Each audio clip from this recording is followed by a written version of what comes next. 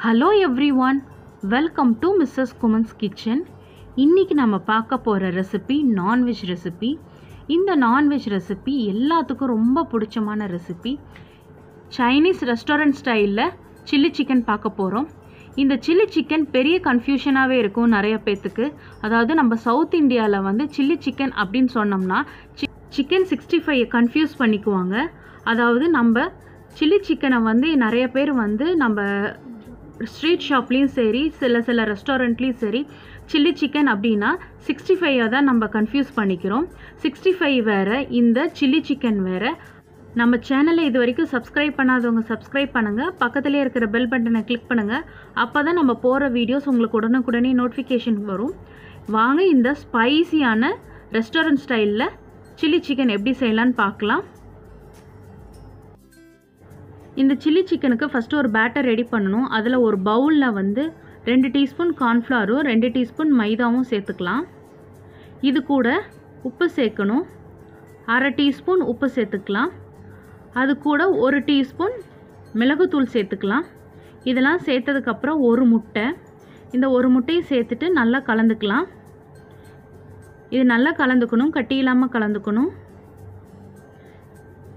இப்போ கலந்தாச்சு. இப்போ நம்ம எடுத்து வச்சுருக்கிற சிக்கன் அதாவது நான் போன்லெஸ் சிக்கன் வந்து ஒரு இரநூறு கிராம் எடுத்து வச்சுருக்கேன். அந்த இரநூறு கிராம் போன்லெஸ் சிக்கன் இப்போ சேர்த்துக்கலாம். சேர்த்துட்டு நல்லா கலந்து விட்டுக்கலாம். இதை வந்து நம்ம மேரினேட் பண்ணணும். அதாவது ஒரு அரை மணி நேரம் ஒரு மணி நேரம் அப்படின்னு ஊற வைக்கணுங்கிற அவசியம் இல்லை. இப்போ இது நல்லா கலந்து வச்சாச்சு. இது ஒரு அஞ்சு நிமிஷம் அப்படியே இருக்கட்டும். நம்ம இந்த பக்கம் எண்ணெய் காய வச்சுக்கலாம். நம்ம ஷேலோ ஃப்ரை மாதிரி தான் பண்ண போகிறோம் அதனால் நிறையா எண்ணெய் ஊற்றி காய வைக்க போகிறதில்ல இப்போ எண்ணெய் நல்லா காஞ்சிருச்சு. இப்போ நம்ம ஒவ்வொரு துண்டாக போட்டு பொறிச்சு எடுத்துடலாம். இப்போ எல்லாமே போட்டுட்டோம். இதை ஒரு அஞ்சு நிமிஷம் இந்த பக்கம் வேகட்டும். அதுக்கப்புறம் திருப்பி விட்டுக்கலாம். ஓரளவுக்கு வெந்திருக்கு. நல்லா திருப்பி விட்டுட்ருக்கோம் இப்போ நல்லா பொரிஞ்சு வந்துருச்சு. இப்போ இதை எடுத்துக்கலாம். இதை தனியாக ஒரு பேப்பர் டவல் எடுத்து வச்சிடலாம். இப்போ அந்த எண்ணெயை பாதி கம்மி பண்ணிவிட்டு ஒரு ரெண்டு டீஸ்பூன் இருக்கிற அளவுக்கு வச்சுட்டு இதில் ஸ்ப்ரிங் ஆனியன் ஒரு ரெண்டு மட்டும் கட் பண்ணி அந்த ஆனியன் மட்டும் ஃபஸ்ட்டு கட் பண்ணி நல்லா வதக்கி விட்டுக்கலாம். இது நல்லா வதங்கினதுக்கப்புறம் மூணு பல் பூண்டு அதை நல்லா குட்டி குட்டியாக சாப் பண்ணி அதையும் சேர்த்து நல்லா வதக்கி விட்டுக்கலாம். இது நல்லா பொரியணும். சைனீஸ்னாலே நல்லா ஹீட் ஃப்ளேமில் நல்லா ஹீட்டாக இருக்கும். அதில் நல்லா பொரிஞ்சிரும். இப்போ பச்சை மிளகா சேர்த்துருக்கோம். மூணு பச்சை மிளகா கட் பண்ணி இதை சேர்த்துருக்கேன். இது கூட அரை பெரிய வெங்காயம் நல்லா சதுரமாக நல்லா கட் பண்ணிக்கிட்டு அது சேர்த்துடலாம் இது லைட்டாக கலர் மாறும் போது நம்ம கேப்சிகமையும் அதே மாதிரி சதுரமாக கட் பண்ணதை சேர்த்துக்கலாம். இது வந்து டைஸ் ஷேப்புன்னு சொல்லுவோம் இங்கிலீஷில். இதை நல்லா கலரி விட்டுக்கலாம். நல்லா ஹை ஹீட்லேயே இருக்கட்டும். இப்போ வந்து சில்லி சாஸ் சேர்த்துறோம். ரெட் சில்லி சாஸ் இது ஒரு டீஸ்பூன் சேர்த்துருக்கோம். உங்கள் காரத்துக்கு தகுந்த மாதிரி இது இன்க்ரீஸ் பண்ணிக்கலாம். இப்போ கால் டீஸ்பூன் சோயா சாஸ் இது ரெண்டும் சேர்த்து நல்லா கலரி விட்டுக்கோங்க.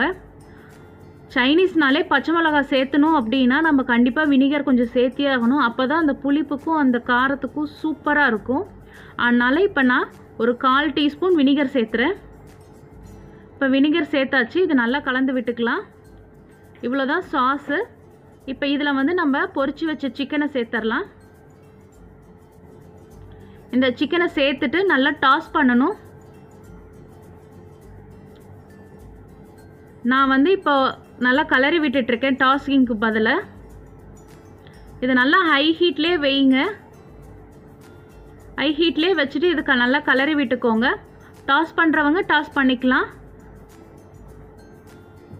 இப்போ இதுக்கு தேவையான உப்பு அதாவது ஏற்கனவே சிக்கனில் உப்பு இருக்குது அதுவும் இல்லாமல் சோயா சாஸ்லேயும் கொஞ்சம் உப்பு இருக்கும்.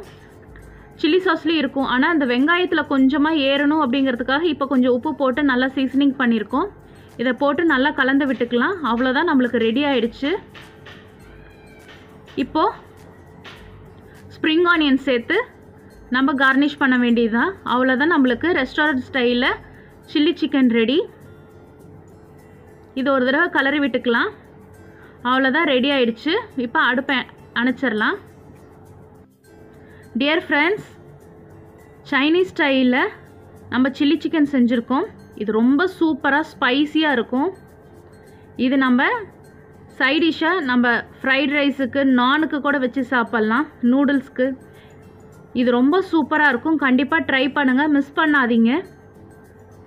இது உங்கள் வீட்டில் செஞ்சு கண்டிப்பாக எல்லாத்தையும் அசத்துங்க.